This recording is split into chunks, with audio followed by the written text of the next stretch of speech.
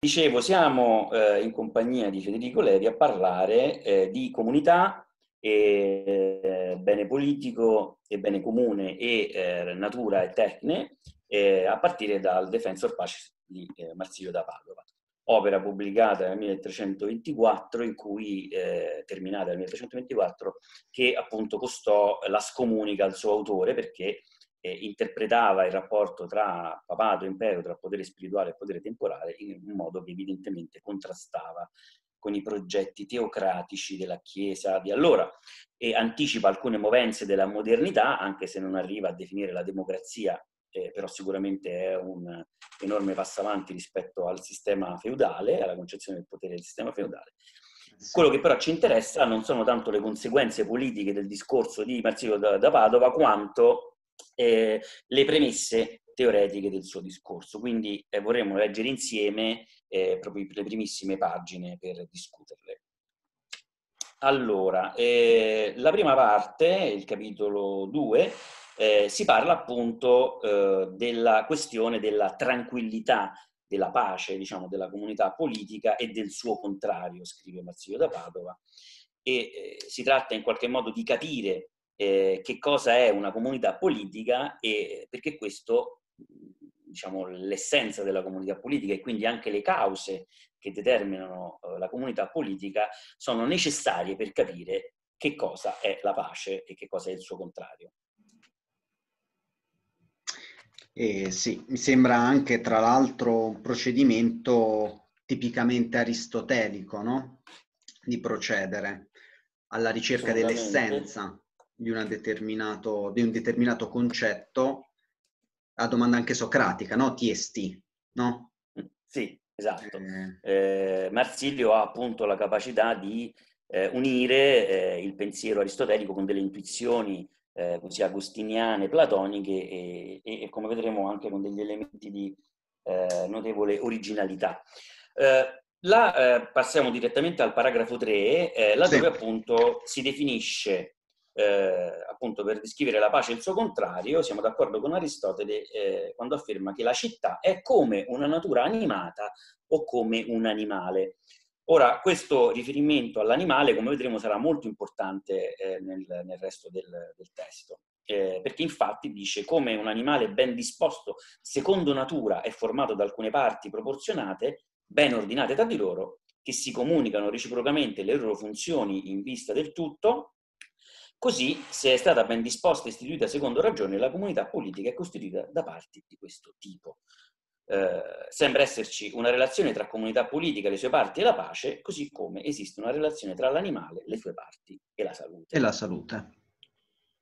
Perfetto. E qui appunto su, sottolineiamo eh, che la distinzione, quindi c'è un rapporto tutto parti, che determina la pace e la salute e il rapporto tra tutte le parti nell'animale è secondo natura e nell'uomo, nella società umana, è secondo ragione, quindi c'è questo scarto tra ragione e natura che però ovviamente non può essere semplicemente un'opposizione. Quindi la domanda fondamentale è vabbè, ma che rapporto c'è tra ragione e natura? Certo, che è già un aspetto, come dire, già... Mh filosoficamente interessante e problematico. Noi siamo portati magari a pensare che è natura dell'uomo avere ragione, ma la ragione non è uguale alla, alla, natura, quindi c'è una sorta di identità e differenza che bisogna pensare in qualche modo, mentre siamo magari portati mh, a pensare o una contrapposizione o a non problematizzare il rapporto, cioè dire a, a, cioè che ci, portando avanti un discorso per cui si dice o c'è la ragione da un lato e la natura dall'altro come due istanze ontologicamente anche contrapposte, come ad esempio siamo portati a pensare anche magari in un modo con cui si ragiona anche in termini antropologici, magari c'è la ragione che cerca di governare le pulsioni dell'uomo che invece sono naturali, ad esempio. Mm. Oppure Viceversa si dice magari in maniera cartesiana, no, la, fa parte della natura dell'uomo quella di essere razionale, la razio è lumen naturale e quindi non si pone il problema del rapporto tra ragione e natura, semplicemente si sussume la natura sotto la ragione, mentre qui non esatto. abbiamo né l'una né l'altra cosa. Diciamo che c'è un rapporto che viene istituito per analogia, c'è la necessità di pensare questo rapporto nella differenza tra natura e ragione. Esatto. Quindi in un qualche modo... Questo, questo, torna più volte perché poi adesso, come vedremo, c'è anche il problema della genesi della comunità politica dalla natura, no? E quindi eh. è lui stesso che poi dice questi due termini opposti, poi però in realtà trovano un, un movimento strano di separazione e quindi anche un'appartenenza reciproca, insomma, e tutto il testo è giocato Infatti. su questo, secondo me. Okay. l'altra cosa da notare è appunto che eh, ma la salute, come dicono i medici più esperti, quando la descrivono, è la buona disposizione dell'animale attraverso la quale ciascuna delle sue parti può compiere perfettamente le funzioni che si addicono alla sua natura. Mm. Eh, qui sarebbe la buona disposizione eh, delle operazioni, quindi eh, c'è una eh, conveniente disposizione eh, delle parti che permette a loro di svolgere delle operazioni. La stessa cosa avviene nella comunità politica. La buona disposizione della comunità politica, eh, grazie alla quale ciascuna delle sue parti potrà compiere perfettamente le operazioni, qui stesso termine che usa sì. per eh, le parti dell'animale, che si addicono secondo ragione e secondo la propria istituzione. Ecco, questo è molto importante. Qui aggiunge un altro termine. Non solo la ragione eh, è la, lo, spe- lo, specifico della eh, comunità politica, ma anche l'istituzione delle parti. Eh, certo, perché l'animale esiste perché le sue parti sono già da sempre istituite, mentre esatto, nella comunità infatti. politica le parti sono oggetto di una istituzione, cioè un processo che porta alla loro istituzione, quindi la loro caratteristica e quindi le operazioni che svolgono eh, sono istituite. E questo è anche interessante un po' perché ci permette di problematizzare meglio anche l'interpretazione un po' organicistica che uno sarebbe tentato a fare, no? Cioè eh, l'analogia con l'animale, le parti degli organi, però l'aspetto dell'istituzione impedisce, come dire, di spingere l'organicismo oltre un certo livello, no? L'interpretazione organicistica, perché non, non, l'istituzione non è esattamente la stessa cosa del corpo organico, biologico perché come dici te, nel corpo organico la natura si esplica, poi può magari anche esplicarsi, in, involvere, diciamo, in un'organizzazione disfunzionale delle parti, però in un qualche modo lo, il, il, meccanismo è, emerge senza, senza, senza, la necessità dell'esplicazione della ragione della società e della cultura umana. Quindi esatto. è, è, è il concetto c'è di istituzione ra- che... Eh. C'è una ragione sia nell'istituirsi delle parti, sia nel loro funzionamento, che è sempre secondo ragione e quindi non può essere che l'individuo è, è sussunto sotto la totalità e quindi perde la sua individualità, perché esatto, solo attraverso infatti. la ragione può partecipare di quel tutto di cui è parte. Infatti. Questo mi sembra un'ottima, un'ottima osservazione. Allora, eh, passiamo al capitolo 3, appunto sull'origine della comunità civile, eh, che appunto segue da vicino per certi versi Aristotele e per altri invece eh, se, ne, se ne separa o comunque se ne allontana.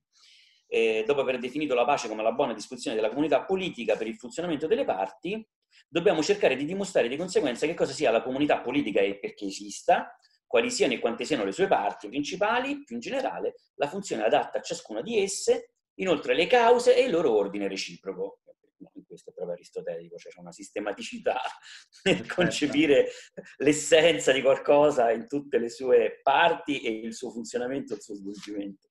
Ok, ora qui c'è una parte interessante. Lui scrive: Prima di discutere della comunità politica, che è la comunità perfetta, e, e il termine eh, è effettivamente perfecta, perfecta communitas, e la domanda è che cos'è la comunità perfetta, eh. eh, delle sue specie e dei suoi generi, per prima dobbiamo definire l'origine delle comunità civili, e, e civilium communitatum, eh, dei loro governi e modi di vivere. Da queste comunità, sebbene imperfette, gli uomini sono progrediti fino a comunità perfette, nei governi e nei modi di vivere e leggiamo tutto e poi problematizzo, problematizzo tutto perché questo è un passaggio cruciale. Sì, Infatti il progresso dalle cose meno perfette alle più perfette è proprio della natura e dell'arte che la imita. Infatti non si può ritenere che gli uomini conoscono ciascuna cosa a meno che prima non ne abbiano conosciuto le sue cause prime, i principi primi fino agli elementi, e questo è Aristotele. Allora, le, la cosa che io notavo eh, leggendo appunto il testo latino è che Anzitutto eh, lui parla del passaggio da comunità imperfette alla comunità perfetta. Ora, il problema del termine perfectus, che ovviamente non indica qualcosa di utopico o ideale, ma in senso aristotelico è qualcosa che eh, è fun- funzionante in sé completo, che è l'esito di un eh, processo di crescita. Quindi la comunità perfetta, è la cosa per, a noi è difficile capire questa cosa, ma in senso aristotelico è semplicemente là dove tende l'istinto sociale degli uomini, cioè, o, o comunque la socialità umana tende a compiersi in qualcosa che quando c'è noi la riconosciamo come la comunità compiuta. Prima di quello ci sono delle forme di comunità che sono imperfette. Ora, eh, i, te- i, termini che usa per il passaggio eh, dall'imperfetto a perfetto sono eh, processerunt, eh, che è appunto procedo, giungere al risultato, riuscire bene, quindi è un, non è neanche un progresso, perché il progresso è una cosa che si accumula e rimane aperta, è mm-hmm. proprio uno sviluppo che si compie, no? E anche eh, lo stesso termine, che poi sottousa, e attenzione a questo è una cosa importante, quando dice che il progresso dalle cose meno perfette alle più perfette è proprio della natura e dell'arte che imita la natura. Qui ci sono due cose importanti, secondo me, da notare. Primo, che mentre prima ha usato perfetto in un senso assoluto, qui usa invece dalle cose meno perfette alle cose più perfette, quindi in senso relativo. Minus perfectis ad perfectiora. Quindi è proprio l'idea di, questa, eh, di questo passaggio eh, come dall'embrione al, al, al feto, no? cioè ecco. da qualcosa che è meno sviluppato a qualcosa che è più sviluppato. No? Guarda, forse dico una banalità. E, aspetta, e aggiungo, no, vai, e vai. aggiungo l'ultima cosa, e questa cosa appunto abissale, dice come l'arte che imita la natura, cioè quindi appunto per problematizzare quel passaggio dalla natura, certo. questa opposizione natura-ragione, ebbene l'arte è effetto di ragione e la ragione appunto a questo punto imita la natura in qualche modo che ancora non abbiamo definito. Quindi, quindi di questo passaggio, la relazione, diciamo, la perfezione, che sia quindi un concetto, come osservavi giustamente te, assoluto, ma è anche calato in una dimensione processuale, per cui diventa anche relativo, relativizzante, cioè esatto. perfezione in relazione a qualcosa. Lo vedi in questo senso calzante in Marsilio come in Aristotele è adopera, diciamo, la categoria di potenza ed atto per esprimere questa cosa? Secondo te è... Perché qui non sì. parla di potenza d'atto, ma da come dicevi sembrava un po' che in qualche modo andasse a parare lì il discorso. Eh, sembra quello, cioè sembra la potenza dell'atto e ovviamente la causa finale, no? Cioè certo. il realizzarsi di qualcosa che è implicito. Ed è anche alla lettera, e poi dopo lo vedremo, quello. Però c'è qualcosa di. Strano che, che, non mi suona tanto e che poi dopo suonerà sempre di meno, che non è totalmente aristotelico e che aggiunge degli elementi particolari. Cioè questo fatto di usare perfectus in, in due sensi diversi, perché appunto il perfetto come ciò che è compiuto in sé e poi al tempo stesso però qualcosa che è meno perfetto e più perfetto. E allora c'è un movimento, come dopo dirò, c'è un movimento quantitativo e qualitativo al tempo stesso capito? C'è qualcosa che è nell'ordine del quantitativo, cioè dell'accrescimento, mm-hmm. e poi però che sembra fare dei salti qualitativi e quindi raggiungere delle, delle forme. Okay. Per esempio il termine forma non lo, non lo usa mai, questo è interessante. Molto. Non usa mai il termine forma, Tutto il, infatti né atto né potenza come noti tu, né causa finale, non, non lo dice mai. Eppure teoricamente è proprio un discorso calato dentro Aristotele, no? Mm. Mm. Vogliamo andare avanti nella lettura tenendo sì. fermi questi aspetti? Queste, ecco, queste problematizzazioni. Dunque, procedendo secondo questo metodo, che è appunto andare a cercare le cause prime e gli elementi costitutivi delle cose, non bisogna dimenticare che le comunità politiche, a seconda dei diversi paesi e di diversi paesi, periodi all'inizio erano molto piccole e ingrandendosi a poco a poco alla fine sono giunte eh, qui il mio testo è falso perché dice ha una forma compiuta ma non c'è in latino, non so com'è il tuo, la tua traduzione. E crebbero gradualmente giungendo alla fine alla loro completezza. Ecco, questo è molto più attinente. Eh, così come abbiamo detto che...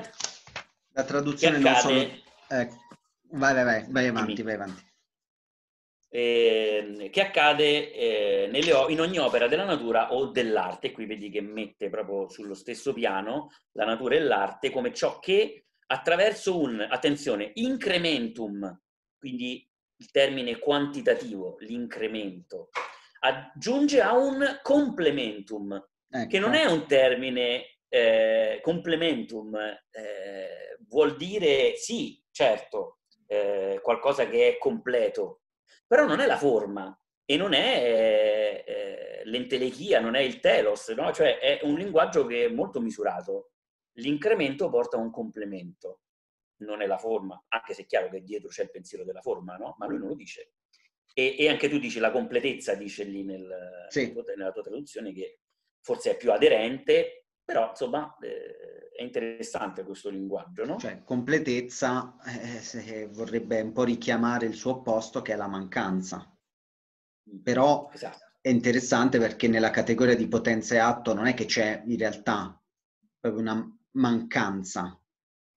Mm, mm, mm. Giusto, bravo. È solo una tendenza evolutiva. La potenza è tale, il suo essere, perché tende a un atto, ma non è mancante in se, in se stesso, è quello che è. Bravissimo, è, è potenza, esatto. mentre qui no. Esatto, esatto. E infatti non usa potenza e atto, perché eh, sarebbe nel, nel, senso che dici tu. Invece no, infatti. è proprio qualcosa che manca, un movimento, come dire, quasi cieco, che a un certo punto vede la luce. C'è un, metafora sbagliata, però per dire un brulicare no? questo incremento, un brulicare che a un certo punto acquista una sua totalità eh, e una sua chiusura. Quindi fondamentalmente stiamo andando alla ricerca della comprensione della comunità perfetta, partendo esatto. dalle prime comunità che in se stesse sono mancanti di qualcosa, per le quali sono comunità, ma sono comunità in uno stato imperfetto, incompleto. Esatto. Ok. Incompleto. Esatto. Allora qui, eh, vabbè, qui potremmo anche velocizzare perché eh, sì. richiama molto Aristotele dicendo appunto che il nucleo originario è la famiglia, l'uomo, la donna e mm, interessante qui ho una, invece la nota eh, dei bravi Conetti, Fiocchi, Radice, Simonetta che dicono eh, nel, nella, mm, eh, nella descrizione che fa Aristotele c'è anche all'inizio il rapporto tra padrone e servo eh, mentre invece in, Arist- in Marsilio non c'è, ma probabilmente anche perché lui è cristiano e quindi evidentemente che il rapporto padrone-servo sia l'origine della comunità politica forse non gli va tanto bene. ipotizzo io e non lo so, questo è... Dopodiché eh, eh, gli uomini vivono in un, paragrafo 4, gli uomini vivono in un'unica abitazione, in una domus, e tutti i loro atti, specialmente quelli che d'ora in poi chiameremo civili, erano stabiliti dal più anziano. Ok? Quindi abbiamo il Senex, che è colui che senza legge, senza consuetudine, giudica del comportamento dei suoi familiari. E ovviamente lui dice non c'è bisogno eh, di, eh, della legge, perché anche nel caso dell'offesa più terribile, come l'omicidio, eh, lo dice subito dopo nel paragrafo, eh, il capofamiglia avrebbe potuto, se voleva e senza danno, non punire il colpevole con la pena capitale, sia perché si riteneva che l'offesa fosse stata fatta solo al padre, a cui toccava perdonarla, cioè visto che l'offesa è stata fatta ai miei familiari, sono io che devo eventualmente punire o perdonare, e se perdono questo è, tut- è del tutto lecito, e sia perché appunto poi mettere a morte un altro figlio gli avrebbe provocato un doppio dolore, no? Questo è interessante quello che dice sì. qui. Eh, eh, qui Marsilio. Mentre invece eh, quando si passa alla, ai villaggi e quindi all'insieme di più eh, famiglie, eh, attraverso un incremento della popolazione, una crescente propagazione, così chiama, la chiama, ovviamente questo non è più, non è più possibile, eh, lo dice successivamente perché appunto eh, no, lo dice qui proprio perché se poi dopo il, il, eh, il Senex, l'anziano, non giudica i torti, ovviamente questo porta alla guerra intestina e alla, alla separazione discordia. della comunità, alla discordia, no? Quindi in questo senso. Quindi sta un po' suggerendo che sulla spinta dell'incremento quantitativo si genera la necessità di una modificazione nella forma qualitativa, già, già adesso. La forma esatto. villaggio e la forma, diciamo, di comunità primitiva sono due forme sì. diverse, sol- non solamente perché ci sono più abitanti, ma perché cambia, come dire, la logica dell'ordine e della pace esatto. al suo interno. Esatto. Okay. esatto. Perché i rapporti interni si differenziano questo è importante, uh-huh. cominciano a differenziarsi perché evidentemente non è più una famiglia, sono più famiglie e quindi i rapporti tra più famiglie inevitabilmente non possono più essere regolati come prima. Sì. E quindi comincia a sorgere la necessità di una regola di convivenza tra le famiglie, scritta o non scritta che sia, eh, che è, de- è determinata proprio dal differenziarsi degli elementi della comunità. No?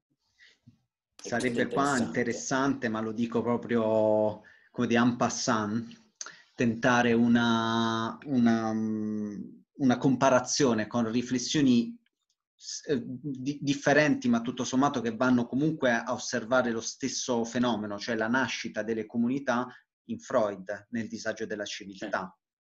Però, diciamo, dove lì invece come dire l'uccisione, no? di cui parla adesso qua eh, Marsilio, l'uccisione possibile, il pericolo che c'è all'interno delle piccole comunità, lì viene trattato diversamente, cioè come genesi del senso di colpa, dove quindi la legge non emerge, non, non c'è come dire l'emersione della legge positiva, c'è innanzitutto l'emersione della legge interiore del senso di colpa, da cui nasce l'etica, da cui poi nasce il nomos. Però vabbè, questo è un attimino. Poi sì. magari in un secondo. Cioè il senso momento... di colpa è il calco negativo della legge, cioè da cui sì. poi positivamente si, si, estroflette la legge. Sì, sì esatto, no? esatto. E questo è molto bello ed è, è interessante perché apparentemente, cioè un altro modo per dire che appunto la, la relazione che poi crea la comunità è qualcosa che non, non è astratto, è, proprio nasce dal, dal tentativo di regolare qualcosa che però parte dall'interno e lì vabbè, in Freud è inconscio, poi c'è, la, c'è, certo. eh, c'è, c'è, c'è, il senso di colpa, come dici tu, l'omicidio primordiale. Qui la cosa che forse poi dopo potrebbe, potrebbe andare in quella direzione, magari dopo lo riprendiamo quando parla delle, delle, delle pulsioni contrastanti nell'individuo. Ok, potrebbe sì. essere simpatico riprendere questo tema un attimo. Eh, perché appunto apparentemente qui eh, avviene tutto in maniera molto spontanea, cioè Marsilio dice beh eh, c'è questo aggregarsi e poi si comincia a cercare di evitare la disgregazione. Di fatto sì. Eh. E il, il, la differenziazione che inizia, anzitutto è un fattore eh, di, problematico perché differenziandosi le parti, cioè essendo famiglie e non più una sola famiglia, questo rende più difficile l'aggregazione però al tempo stesso costringe a pensare la norma attraverso la quale l'aggregazione risulta possibile, cioè la giustizia. E infatti dice, eh, subito dopo, no, pur essendosi moltiplicati i, villaggi con l'incremento della popolazione, uh-huh. eh, come scritto nella politica libro terzo, erano governati dal più anziano da chi era ritenuto migliore. Sebbene questi ordinamenti fossero meno imperfetti di quelli con cui venivano ordinati nel singolo villaggio e vicina, eh, tuttavia, nelle prime comunità non hanno avuto, eh, quelle prime comunità non hanno avuto una tanto grande distinzione e disposizione delle parti, eccolo qua, né hanno posseduto il complesso di arti necessarie e di regole di vita, come se ne è poi ritrovate nelle comunità perfette. Talvolta, infatti, lo stesso uomo era governante, contadino o pastore, come Abramo e molti discendenti, cosa che non si addice alle comunità perfette né sarebbe permessa. Ecco il punto.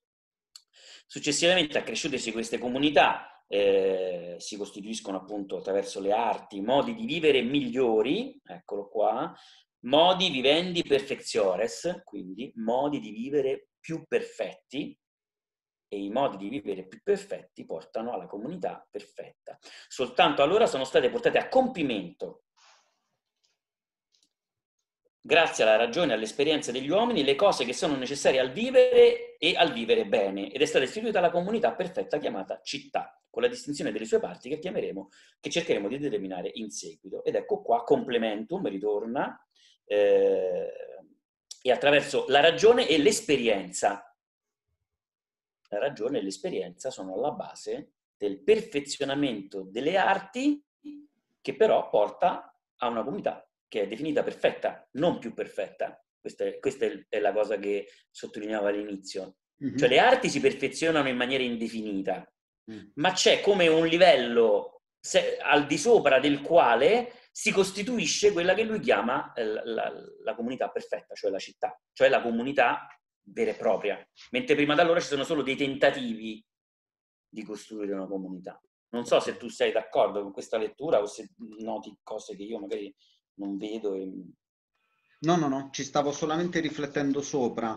E, ehm, diciamo, trovo, trovo molto interessante che in questa genesi della città perfetta, e condivido che quindi in un qualche modo su questo aspetto cioè la perfezione richiedeva una determinata forma, secondo questa riflessione, e questa forma è la città, c'è la genesi stessa della ragione. Cioè qua c'è anche una storia della genesi della ragione, della razionalità. Esatto. esatto. Sulla scorta di una necessità politica, che ancora non è sì. nemmeno propriamente politica, perché se etimologicamente no, politica nella sua perfezione è già nella città. Sì. Però la necessità del superamento della discordia genera la ragione.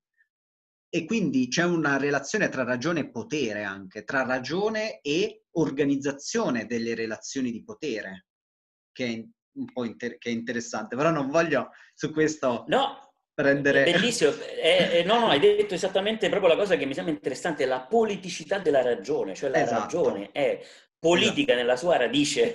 Esatto. la, non, la, politica non è un'applicazione della ragione. esatto. In, in, un modo però che non è appunto russoviano, cioè appunto come degenerazione di una purezza originaria. No, no, è proprio, ah, il, proprio il ribaltamento. È il ribaltamento, esatto. Totale. Esatto, ribaltamento.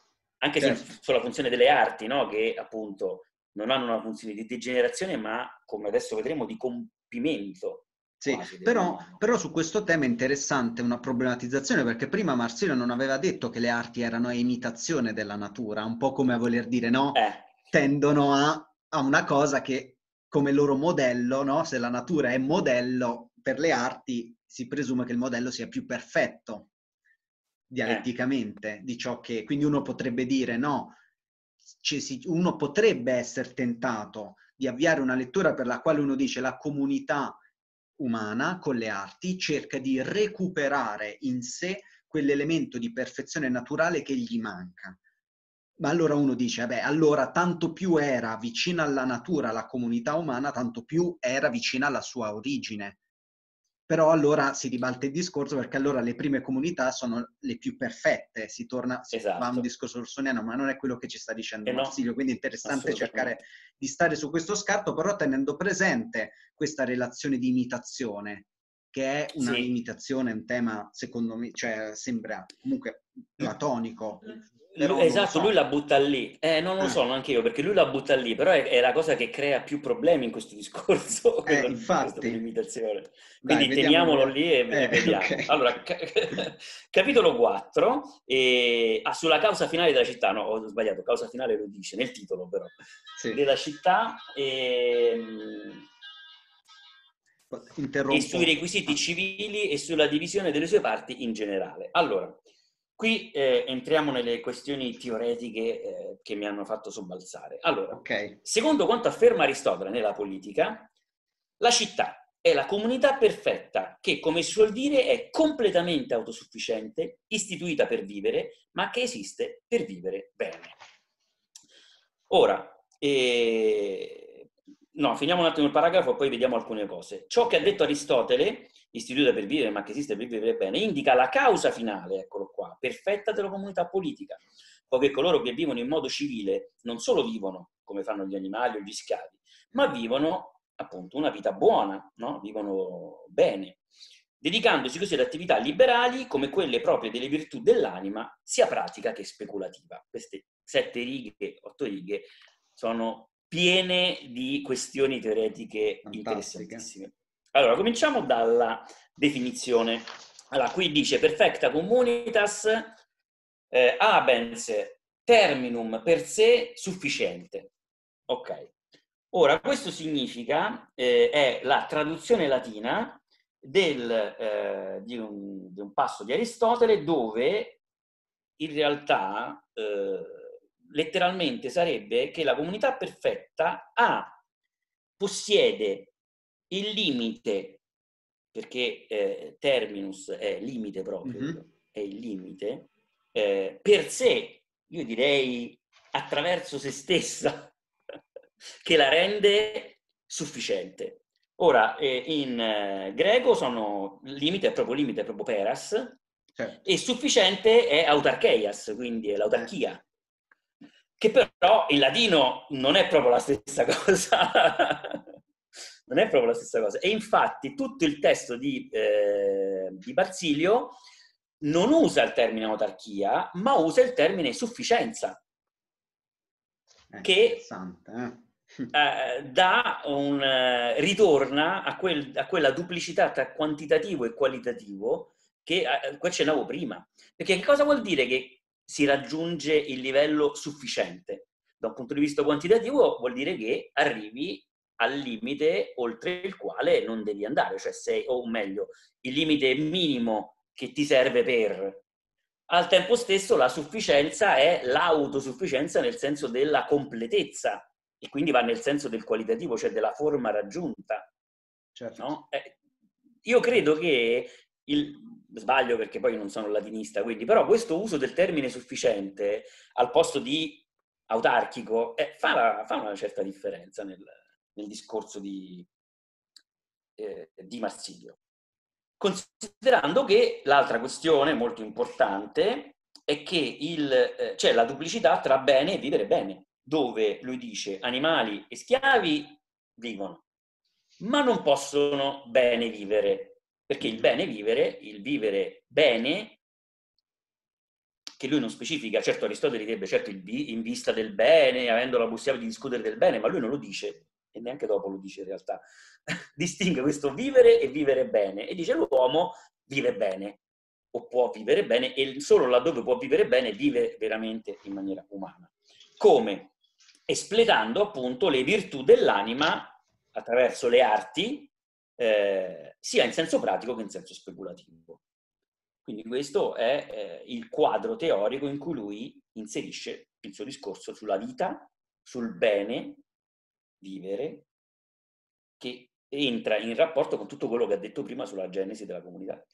Ed è importante comunque che tutto questo venga inquadrato nei termini aristotelici di causa finale, che quindi spingerebbe un po' anche andare a, a, a riconoscere forse nel paragrafo precedente la necessità del superamento della discordia come causa efficiente dello sviluppo, ma ancora non mm. del tutto mh, consapevole di sé. Cioè la causa efficiente dello sviluppo è la, le necessità che di volta in volta si presentano alla comunità, magari immagino che il passaggio dalla comunità primitiva al villaggio non fosse stato compreso tra chi ha vissuto il passaggio, storicizziamolo anche un po', diciamo, per, sì, sì, certo, così, certo. per semplificare il discorso, non fosse stato inteso nei termini di un ok, passiamo dal vivere al vivere bene, sarà stato, diciamo, problematizzato a seconda poi delle necessità vitali che si presentavano e non c'era magari ancora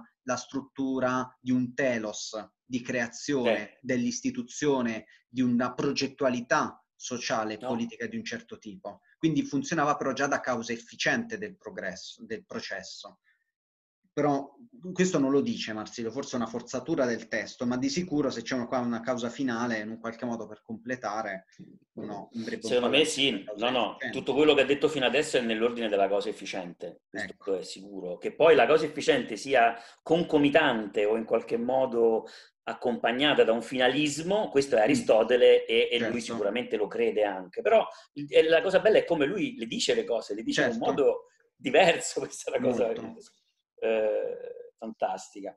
Eh, dunque, dopo aver definito il fine della comunità politica, che è il vivere, il vivere una vita e vivere bene, dobbiamo parlare in primo luogo del vivere e dei suoi modi. Ecco. Infatti, la comunità politica è stata istituita per questa ragione ed è la necessità di tutte le cose che esistono in essa e che sono prodotte dall'associazione degli uomini. Qui associazione in realtà è la comunicazione, cioè eh, la relazione reciproca tra gli uomini. Quindi ciò che esiste nella comunità politica, eh, la necessità e tutte le cose che esistono nella comunità politica derivano, sono state prodotte dalla relazione tra gli uomini, sono prodotto della relazione. Quindi quando gli uomini entrano in relazione producono qualcosa di nuovo in natura, che è poi nell'ordine della ragione, però la ragione si costruisce nello stesso rapporto esatto, tra gli uomini, nella Infatti. stessa relazione, quindi no? L'uomo è quell'ente naturale che lo metti, entra in relazione pum, e produce la ragione. Eh sì, esatto, infatti, sembra così. Noi stabiliamo questo come principio di tutte le cose che devono essere dimostrate, sostenute naturalmente, eh, sostenuto naturalmente, credute, ammesso stancamente, eh, spontaneamente, ecco questo è il punto. Tutti gli uomini non mutilati o impediti per altre ragioni desiderano naturalmente una vita sufficiente. Ecco ah, il termine qui... che a me ha fatto grande problema. Eh certo, è certo. Perché che cos'è la vita sufficiente? Sufficiente. È il vivere? È il vivere bene? Eh, boh, non è così chiaro. Qui i commentatori dicono che vita sufficiente è la vita umana, propriamente umana, è la vita felice, però adesso mm. quello che lui dice nelle righe immediatamente successive è esattamente il contrario, perché lui dice che, questi, che ogni essere umano desidera una vita sufficiente, uh-huh. desiderano evitare le cose a essa dannose. Sì. È stato riconosciuto che questo principio è vero non solo per l'uomo, eccolo là, ma per ogni genere di animale, secondo eh. quanto affermato da Cicerone nel De Officis. E citazione di Cicerone, fin da principio la natura ha concessa a ogni genere di esseri animati di proteggere se stessi, la vita e il corpo, di evitare quelle cose che sembrano nocive, di procurarsi e di servirsi di tutto ciò che è necessario per vivere. E quindi la vita sufficiente non è la vita degna dell'uomo, la vita propriamente umana, è qualcosa che appartiene a tutte le specie viventi. Io leggo così. Quindi sì, verrebbe da dire, forse, forse quello che intende è il principio per, per, di una vita in salute, semplicemente. Eh, probabilmente sì. Cioè della vita dove la, la giusta disposizione delle parti è, viene, viene soddisfatta. Ma secondo te nell'individuo o nella comunità? Perché io mm. allora a questo punto comincio a sospettare che vita sufficiency sia la, la, vita che l'individuo aspira per se stesso, cioè una vita in cui può avere quello che vuole e evitare i danni. E questo avrebbe senso dire che tutti gli esseri viventi lo cercano. Non lo so. Certo, come te dici, come ogni singolo animale cerca la propria, no? Col proprio istinto, salute. la propria salute, lo stesso discorso valga, valga, anche per gli uomini. Beh, lì però allora si pone però in generale il problema de, di, di, qual è poi l'essenza della natura umana, si pone un problema proprio antropologico e diciamo... E, e infatti dopo lo radicale. dice, dopo lo dice, eh, eh. infatti dopo lo dice, esatto, sì, sì, infatti dopo parla, parla proprio di quello allora, ma lo stesso vivere, quindi paragrafo 3, e il vivere bene, eh, conviene agli uomini in due modi. Uno è chiamato temporale terreno, l'altro eterno celeste. Eh, vabbè, poi dopo qua dice i filosofi hanno sempre litigato su cosa è la vita eh, nell'aldilà, eh, mentre hanno dimostrato che cosa vuol dire vivere e vivere bene nell'aldiquà. Ok? E e qui appunto cita Aristotele, tutti gli uomini sono spinti da un impulso naturale, eccetera, eccetera. Ecco qua. Tuttavia, ci sei alla citazione di Aristotele subito dopo? Uh, sì, sì, okay, ci sono. Tutti gli uomini sono spinti ad sì. essi, cioè alla, alla, vita comune, da un impulso naturale. Tuttavia, malgrado ce lo insegni l'esperienza sensibile, ok, qui l'esperienza sensata, e desideriamo esporre con maggior precisione la causa di cui abbiamo parlato, affermando che l'uomo è formato da parti contrarie e a causa delle loro azioni contrastanti e delle passioni, quasi continuamente viene alterato qualcosa nella sua sostanza. Ah, ecco. Ecco. L'essere umano nella sua sostanza, quindi l'individuo nella sua sostanza, è un essere contraddittorio, fatto da pulsioni contrastanti. Qui è bello riprendere Freud, no? Cioè sì. l'individuo stesso dentro di sé ha una lotta intestina che in qualche modo gli impedisce di essere uno, unitario, no? E addirittura viene alterato continuamente qualcosa della sua sostanza, quindi non, non può sussistere da solo, l'individuo umano, la sua stessa sostanza è, si disfa, è destinata a disfarsi. E rinforza questo subito dopo dicendo, d'altra parte, poiché è nato nudo e indifeso, soggetto a patire le forze dell'aria che lo circonda e degli altri elementi, come viene detto nella scienza naturale, per evitare i danni che abbiamo sopra ricordato, ha avuto bisogno delle arti di diversi generi e specie. Quindi le arti sono un complemento, usiamo così in termine però eh, in senso derridiano, cioè qualcosa che va a un supplemento, supplemento, della sua stessa natura, della sua stessa sostanza, cioè l'uomo ha bisogno delle arti per essere pieno, perché la sua sostanza non vada perduta, perché altrimenti si disfa come individuo. E poiché queste arti non possono essere esercitate se non da un insieme di uomini e non si possono ottenere se non grazie alla loro associazione, essi hanno dovuto unirsi per conseguire, grazie a queste arti, ciò che è vantaggioso ed evitare ciò che non lo è. Eccola là le ecco. arti vanno e quindi le, la comunità è ciò che permette all'individuo di sussistere e quindi può cercare una vita sufficiente, una vita sufficiente da solo come eh, individuo no. no. Come, individuo, come tutti no. gli animali lo cerca ma può farlo soltanto associandosi agli altri sviluppando le arti che gli permettono di tenersi non spaldarsi non disfarsi io, io, l'ho letta così questa sì, parte sì, e sono sì. rimasto folgorato. Eh, anch'io, beh, eh, questa è proprio la nascita de, dell'antropologia filosofica anche, no? Di questa idea dell'uomo che nasce nudo e indifeso, no? Lo stato, eh. la consustanza, il, il momento negativo di, di mancanza e impotenza come tratto originario dell'uomo. Eh sì, eh sì. Cioè è come se, eh, io mi ero appuntato questo, come se l'uomo dovesse per esistere passare dalla molteplicità delle sue passioni contrastanti all'unità che gli garantisce l'esistenza condivisa e quindi anche le regole, e cioè le arti che gli permettono di soddisfare i suoi bisogni e quindi da una mancanza strutturale a mm-hmm. ciò che eh, il supplemento che permette in qualche modo di colmare questa, questa, questa mancanza. E, ma allora la domanda però diventa anche quella per cui, quindi, mh, fino a che punto è necessario all'uomo, perché uno potrebbe dire, ok, sì, nasce l'uomo costitutivamente nudo e indifeso e si unisce per poter vivere.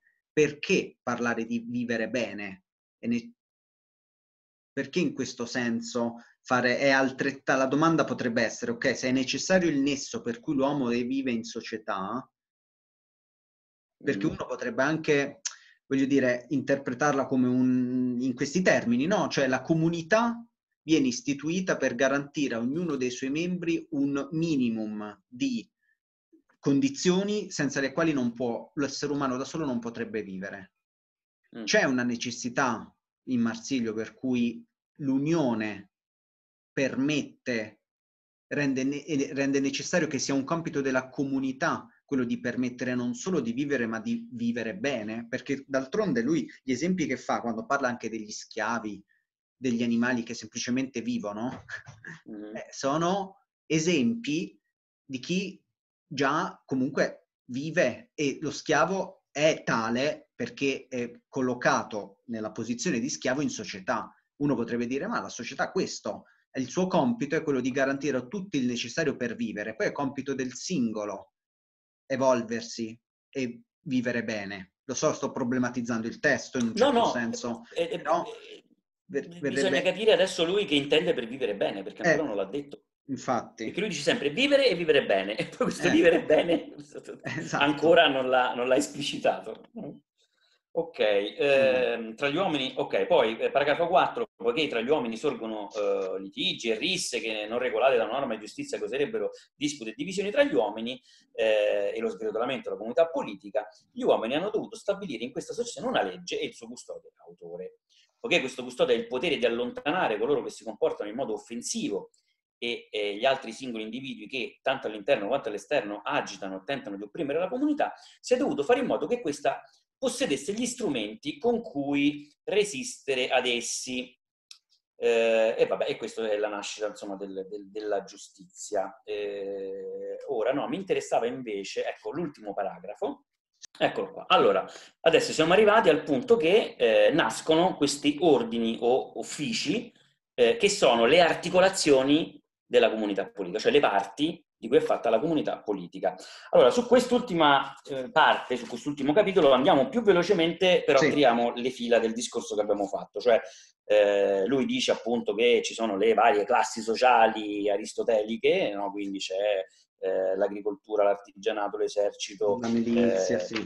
Eh, la, il sacerdozio, la, la, parte giudiziaria e la parte finanziaria. Sì. E, e dice appunto perché nascono. Prima, però, questo diciamo, lasciamo un attimo sullo sfondo. Quello che è interessante è anzitutto ehm, quando dice paragrafo 2 a metà, citazione dal De Anima, riprende la questione della vita. Sì. Il vivere è l'essere delle cose viventi. In questo senso la vita non è altro che l'anima. Classico.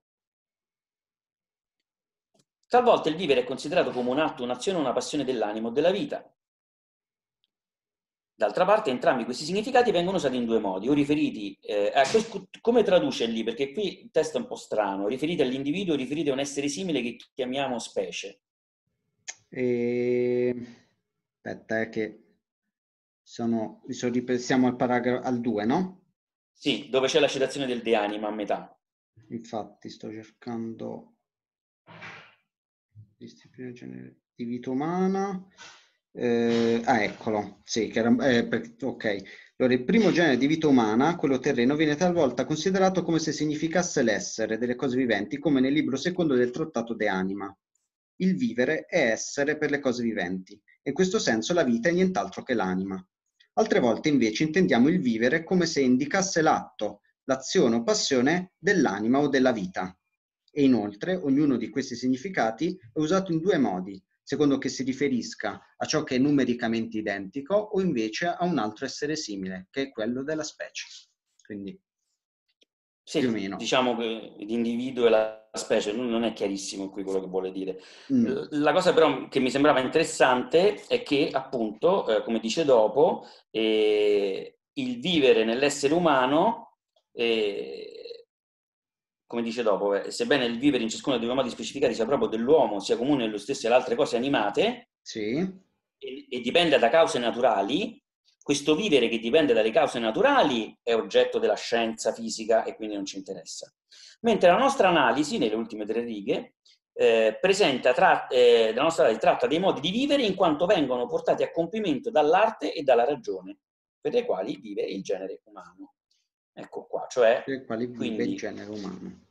Quindi c'è un vivere eh, che è appunto determinato dalla natura e quindi evidentemente c'è una completezza del vivere o una, un essere del vivere, cioè l'uomo vive, la sua anima compie delle azioni perché è naturale, ma poi quello che interessa a lui è appunto eh,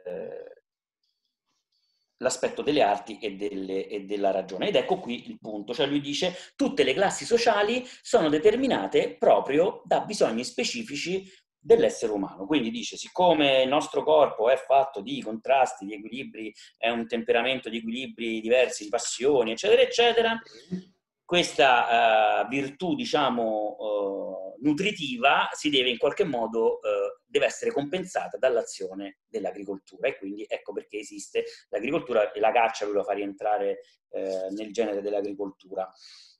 Eh, una cosa interessante che dice qui eh, è che appunto questi equilibri eh, possono essere raggiunti solo per mezzo di qualcosa che la ragione stessa produce, cioè le arti. Quindi l'equilibrio nel corpo a ragione e arti costituiscono una, un insieme inscindibile. Inscindibile. Non non, non ci può essere ragione senza arti e non ci può essere ragione senza le passioni, il contrasto interno dell'uomo, la composizione del suo corpo, anche proprio da un punto di vista anche fisico. no? Cioè, questo è, sì. mi, mi sembra, io appunto cerco di interpretare perché è molto densa questa parte. Sì, sì, sì, per quanto comunque rimane il rapporto per cui la ragione è chiamata in un qualche modo a ordinare questi, questi elementi in contrasto. Però esatto. scaturisce da questi, farlo... dal contrasto di esatto. questi elementi. Esatto, scaturisce dal contrasto degli elementi e non eh. può regolarsi senza trasformarsi in arte, nelle sì. arti, nella tecne. Quindi certo. è una triangolazione eh, inseparabile. Ogni, una cosa e, è chiara, o contro ogni dicotomia, no? per cui si dice la natura umana da un lato, la, la tecne da, una, da, un altro, no? la no. snaturazione dell'uomo ad opera Esatto, del... assolutamente. Niente. Niente. Dopodiché, vabbè, la seconda classe, la classe appunto ehm, delle arti meccaniche, eh, ecco questo pure è interessante, nasce perché eh, il nostro corpo entra in relazione con gli elementi esterni eh, e le azioni che compiamo in riferimento a questi elementi esterni portano alla necessità dei cibi, le bevande, le medicine, i veleni, eccetera, eccetera. Quindi una cosa eh, interessante di questo, però specifica meglio dopo, e poi ci sono le azioni appunto immanenti che sono quelle i desideri, eh, i pensieri, e le azioni transitive, cioè quelle che vengono compiute nei confronti di un altro essere esterno. Allora, eh, paragrafo 5. Sì. Per regolare tutte le azioni e le passioni e per portarle a compimento in ciò a cui non può portare la natura, attenzione, ecco. quindi nell'essere umano, la natura da sola non basta a portare a compimento le azioni eh, che eh, rendono possibile il vivere. Sono stati scoperti diversi tipi di arti e altre virtù e sono state istituite diverse funzioni umane per soddisfare i bisogni umani. Ok. Oh, e... bisogni, qua, qua traduce con desideri. Ah. Dove? Eh, rispetto Lo a scopo... quello che ho detto... Mm. Diversi generi di arti e di altre virtù e sono stati poi istituiti diversi uffici umani per esercitarle allo scopo di soddisfare i desideri umani. Però... No, perché è, indige- è indigenziam. Ecco, indigenziam. Eh, allora e allora qui... Suppl- attenzione, eh, propter supplendam humanam indigenza, per ecco, fare da supplemento suppl- all'indigenza umana. No. Qui abbiamo evocato Derrida eh, senza saperlo. e ci stava. Ok, e qui appunto dice quella cosa che dicevo prima, eh, le, le varie funzioni sociali, allevamento, eccetera, eccetera. Invece, nel paragrafo 6 sì. dice Ah no, aspetta, no, prima leggiamo le quattro righe finali di questo paragrafo meraviglioso in cui dice, e io qua non voglio interpretare troppo, però okay. Lui, alla lettera, lui, alla lettera, dice questo. Allora, e dove dice appunto campo, alleva, campi allevamento, opportunamente ricondotto tipi di caccia animali, bla bla bla, tutte le altre arti con cui si procura il cibo con una certa trasformazione, ossia viene preparato per essere mangiato, affinché ciò che viene perso dalla sostanza del nostro corpo mm. venga riacquistato per mezzo del cibo e per questo il corpo si mantenga nel suo essere immortale fin dove la natura lo ha concesso all'uomo. Ed è proprio immortale il latino, no, cioè praticamente il corpo umano è questa strana sostanza che perde cose, che riacquista cose attraverso eh, le funzioni sociali, il lavoro, il nutrimento, e il corpo umano è immortale finché non muore. Cioè, finché non muore, è bellissimo, è immortale finché non muore. Questo è bellissimo. Il corpo, il corpo umano è immortale finché non muore. Perché? Perché questo perdere sostanze, riacquisire sostanze, quindi è come una macchina certo. no? che funziona certo. perfettamente, però certo ha un tempo che gli è dato dalla natura, esatto. dopodiché cessa di svolgere quella funzione, se no è immortale. Eh, sì, sì, sì, sì, esatto. è, è favoloso. Ok e, ok, e qui c'è appunto questa questione delle... e qui veniamo alla volontà, e questo è fondamentale, se, se, torniamo a Freud perché qui parla invece degli elementi che circondano dall'esterno il corpo e tutte le attività, cioè le arti meccaniche, come dice Aristotele nella politica, citazione, eh, nel paragrafo 6, sì. appunto, fabbricare le scarpe, bla bla bla. Ok. Eh, nella frase successiva, dove appunto dice di queste attività de, dei sensi, si addicono al piacere, mh? Hm? alla voluttà, voluptatem, e al vivere bene, più che alla necessità della vita. Ecco qua. Quindi tutti questi piaceri che derivano dalle arti meccaniche si addicono al vivere bene più che alla necessità. Eh, cioè, eh. mentre prima parlava della sostanza umana che si sfalda e ha bisogno di ricompattarsi attraverso il nutrimento, e quindi la base, poi ci sono delle arti diverse, diciamo superiori, non lo so, le arti meccaniche, che invece certo. riguardano il rapporto tra la nostra sostanza e gli elementi esterni che non devono in qualche modo entrare, ma che la, essa entra in relazione con questi altri elementi, e qui ha invece a che fare con la voluptatem, quindi con il piacere, con la voluptas, quindi con il piacere, e riguarda il bene vivere e non vite necessitatem. Qui, Quindi allora recupera no- questa nozione del vivere bene che al momento è ancora, c'è ancora oscura, però in qualche modo ci spiega come si, si presenta in una sorta di scala mm. Mm, mm, mm. di progressione, per cui tu intanto sviluppi le arti per uh, soddisfare gli aspetti più meccanici interni o le relazioni esterne di natura legate alla, al principio di necessità, appunto, e poi invece si, ci, si, ci si evolve, ci si eleva a un principio di ancora più alto, che allora me, se, sembrerebbe qui da mostrare, cioè qui ancora non definisce l'idea di, di, il concetto di vivere bene, però sicuramente lo evoca in contrapposizione con l'idea di necessità della vita. Quindi, po- eh, quindi, esatto. quindi una verità per necessità e una verità per, opposto a necessità, non lo so, per libertà. So. Eh, però la cosa interessante è che, oh, no, sicuramente va a finire lì, nel senso che poi la comunità politica eh, permette anche la deliberazione e la decisione, sicuramente.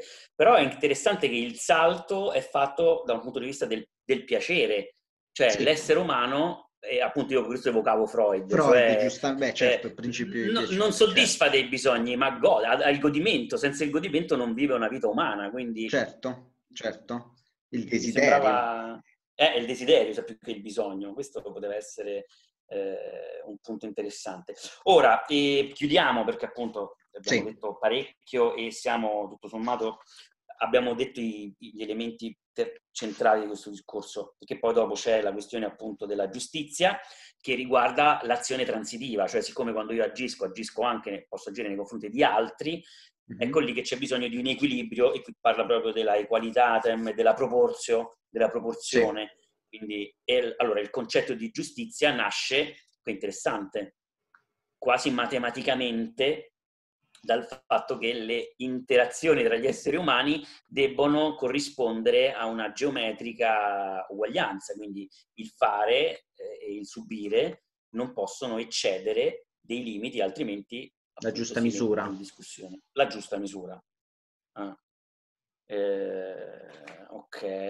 E la, è anche una cosa interessante perché esiste la milizia, perché esistono i guardiani, perché, il, perché esiste il corpo armato, perché altrimenti una città potrebbe essere resa schiava da un'altra e perderebbe la sua sufficienza e quindi perderebbe ciò per cui, ciò senza la quale non ci sarebbe una vita buona.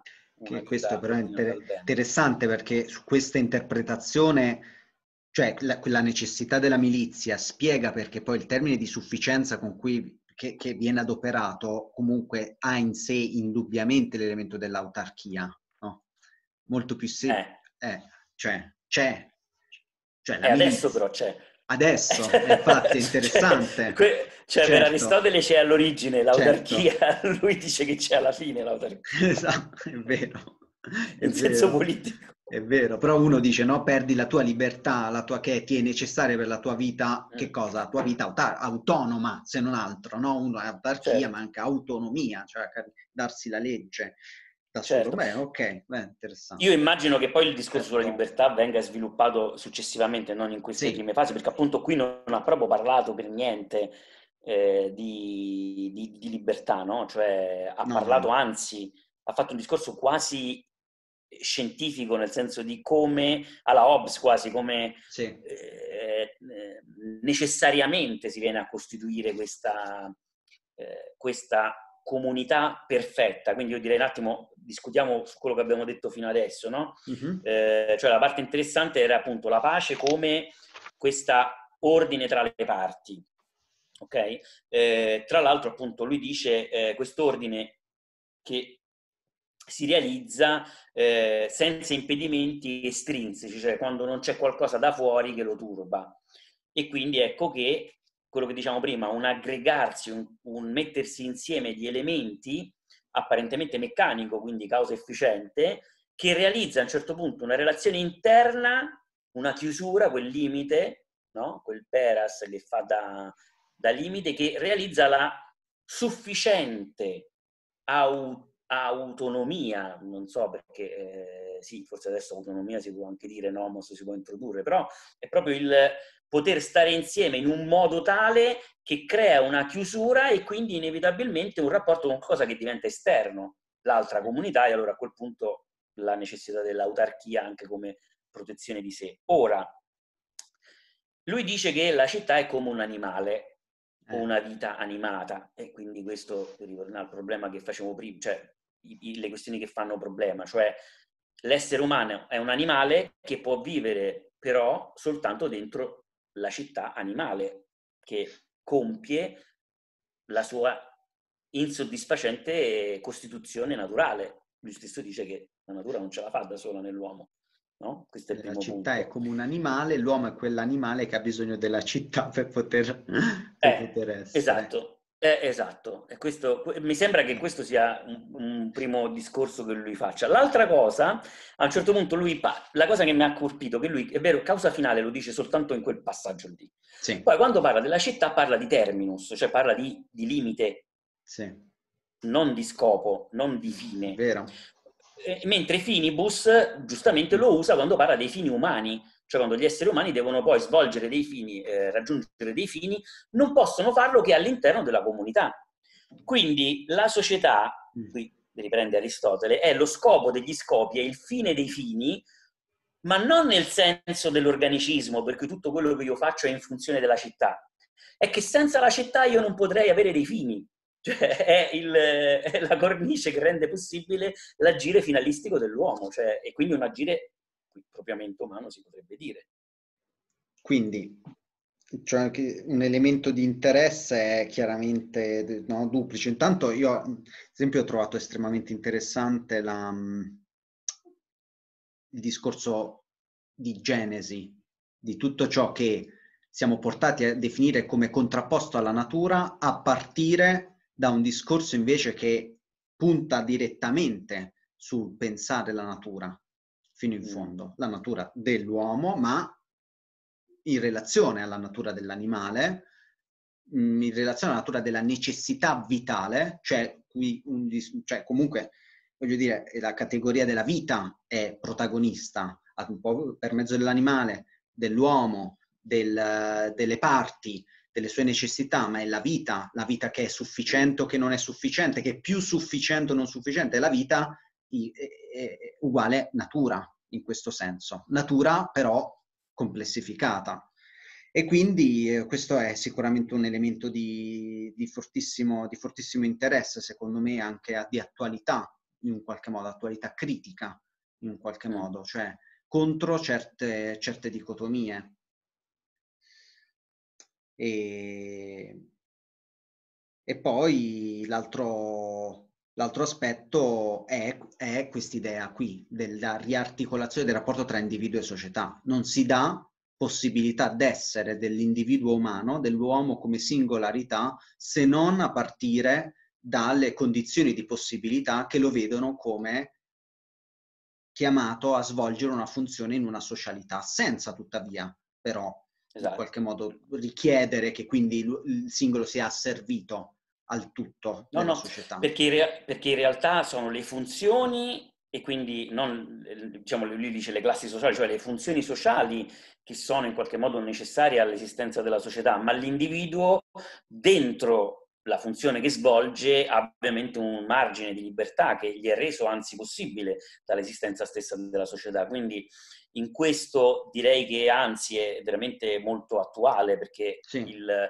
la disfunzionalità della democrazia la mm-hmm. disfunzionalità della democrazia, cioè perché la democrazia non ce la fa, perché mm. è costantemente in pericolo, perché non funziona, eh, beh, un'analisi potrebbe appunto andare a parare, da un lato, come dici tu, appunto sulla problematizzazione di alcuni concetti fondanti della, della democrazia moderna, appunto l'opposizione natura-ragione, che qui sì. è battuta in breccia, ma anche eh, su questa idea appunto della che cosa vuol dire eh, svolgere un compito, un ruolo dentro una società se tu non ti pensi come individuo isolato che poi va a essere parte di una società, ma pensi che la società stessa è ciò che ti rende possibile il tuo agire, quindi la tua stessa ragione, ecco, anche questo l'altro termine, l'altra cosa questione è la razionalità sociale, no? La crisi della democrazia è anche una crisi della razionalità sociale e, e tutti i dibattiti di questo periodo no? eh, sulla follia che emerge in tempi di crisi, non riusciamo a trovare la, la eh, barra, sì è anche proprio questa autonomizzarsi della ragione individuale che diventa follia, perché non c'è una matrice comune, non c'è un, uh, un ordine condiviso su cui la ragione si staglia, che non è appunto qualcosa uh, di indipendente dalla ragione, no? Questi mi sembrano termini importante. Molto, molto importante. Quindi Marsilio eh, dialoga con il presente, direi, in maniera molto proficua. Bene, eh, è stato molto divertente, spero che qualcuno che lo, lo senta si diverta come noi. E, grazie Federico, lo, dobbiamo rifare possibilmente presto con te, qualche Marco. altro testo. Ciao. Un piacere, ciao e ciao a tutti e un ringraziamento a chi ci ha ascoltato. Ciao ciao.